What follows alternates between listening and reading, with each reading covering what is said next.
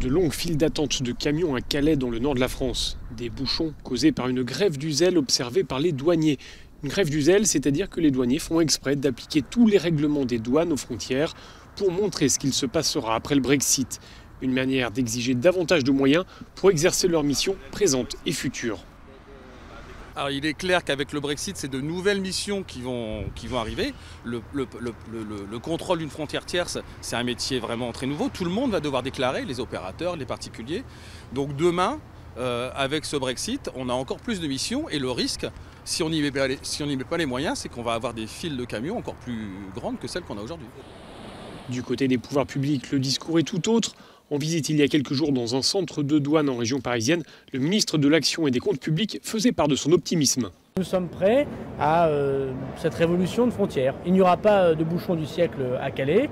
Ce que nous allons faire, c'est évidemment contrôler les arrivées de la marchandise sur le sol européen et donc en premier sur le sol français. Et nous allons travailler de manière intelligente avec notamment euh, des évolutions numériques qui feront que le ciblage et le contrôle en amont sera une priorité de la douane et ça se passera bien au mois de mars-avril prochain. Cette grève du zèle a été engagée ce lundi pour une durée illimitée dans les ports de Calais et de Dunkerque.